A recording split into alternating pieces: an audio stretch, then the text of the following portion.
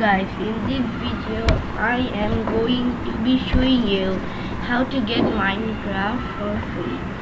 At first go to minecraft.net after so after you do that click on register.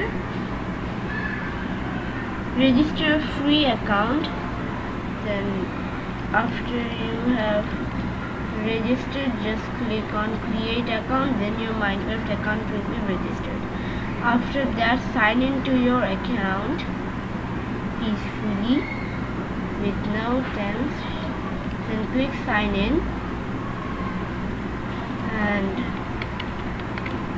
then, then you go to your account just click or play demo. Then click on download the game then click on minecraft.exe I don't know. Then then after that go to files.forge.net link in the description. Then choose the versions you want. You can also for legacy builds if you want. Then click on the installer button.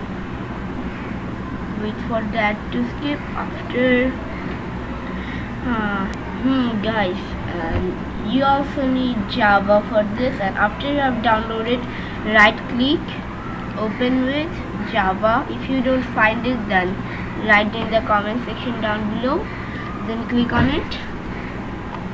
Then install forge click ok but i already have it that's why i won't. After you have installed open your minecraft. Let it boot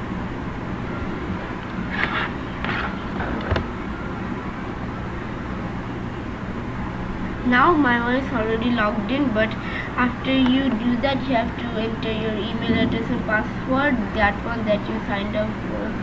Minecraft dot minecraft dot email address and password. Then click on edit profile. Then click on this. Then then you will be here. Go down. Click on this. Then click this. Then play demo. This will load up